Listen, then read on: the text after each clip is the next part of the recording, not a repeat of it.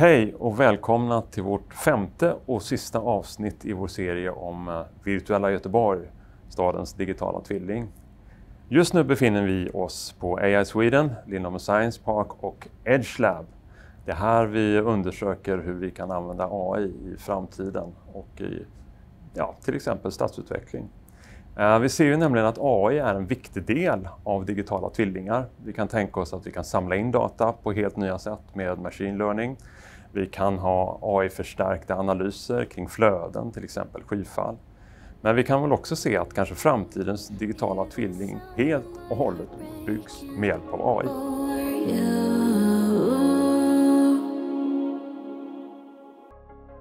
För att kunna möta de utmaningarna som står inför dörren behöver vi göra vårt samhälle mer robust och uthålligt.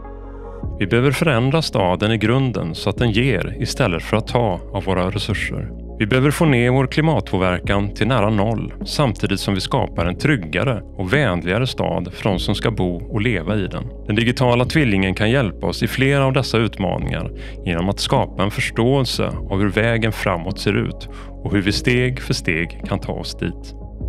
Näringslivet har alltid varit en viktig del av Göteborg och det är genom samverkan mellan stad och näringsliv som förändring kan ske på riktigt. I testbädden Virtual Gothenburg Lab utforskas nu hur näringslivet kan använda sig av och bidra till utvecklingen av vår gemensamma digitala tvilling. Virtual Gothenburg Lab är ett labb där man kan testa och labba med den digitala tvilling som Göteborgs stad bygger. Alltid när man ska lära sig en ny teknik behöver man prova sig fram och här i labbet har vi allt man behöver för att kunna göra det. Eh, och det är oavsett om du jobbar i staden, i näringslivet eller i akademin. Hit är alla välkomna. Inom näringslivet finns ett stort intresse i användning av digitala tvillingar för städer. Kanske allra tydligast från fordonsindustrin. Ett av de företag som utforskar tvillingen i testbädden Virtual Gothenburg Lab kommer just från fordonsindustrin. Vi var delaktiga i en pilot som heter Coexist 2 eh, och den handlade om att förutom att utvärdera testbäddens funktionalitet så tittade vi på hur interaktionen ska ske mellan autonoma fordon och fotgängare. Eh, och det gjorde vi tillsammans eh, med eh, Trafikkontoret och ett antal företag här i Göteborg. Till vår hjälp använde vi oss av en eh, 3D-spelsmotor.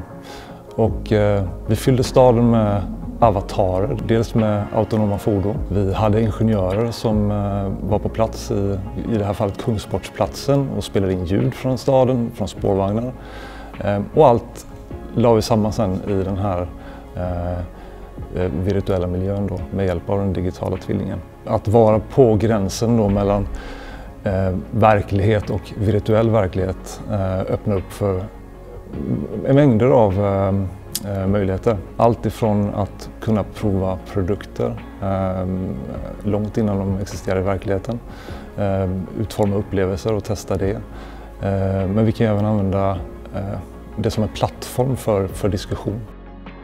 De samhällsutmaningar vi står inför är komplexa och vi behöver lösa dem tillsammans.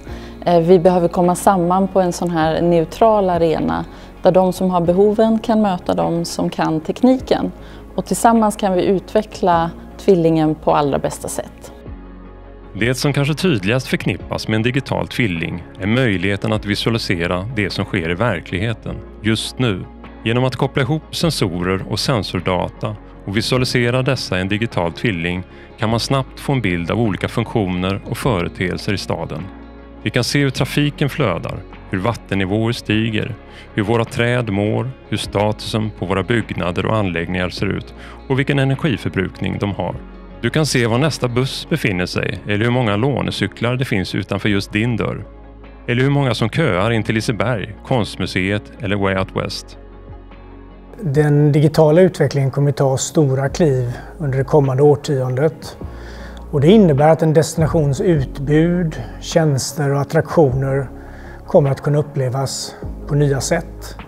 Och Göteborg och Göteborg Company vill vara drivande i den utvecklingen. Så den digitala tvillingen, det innebär ju för oss en möjlighet att med hjälp av moderna innovationsprocesser skapa en plattform för att kunna testa och prototypa de här framtida upplevelserna som kommer att komma. Så man skulle kunna säga att det, det, blir ett sätt för besöksnäringens aktörer att i strategisk samverkan kunna möta det digifysiska epokskiftet och forma framtiden tillsammans. Vi ser ju att det blir mer och mer utav hybridupplevelser. De blir både fysiska och digitala. Och det måste vi förstå hur det kommer att utvecklas framåt och vi måste testa oss fram för att kunna erbjuda de bästa lösningarna för det. Om Göteborg ska vara en framtida evenemang som möter stad av rang. Den framtida staden kommer kanske vara lika mycket virtuell som verklig. Vi kommer att som avatarer kunna träffas, utföra ärenden och tycka till och lära oss om staden och dess utveckling. Eller till och med gå på utställningar och konserter, fast virtuellt. Vi har nu börjat prata om begreppet metaverse, vilket enkelt skulle kunna beskrivas som en eller flera länkade virtuella världar i ett framtida internet. Fast i Göteborg kallar vi det såklart inte för metaverse, utan gotoverse. Tack för att ni har varit med oss i vår resa, eller början av vår resa, mot vår egen digitala tvilling, virtuella Göteborg.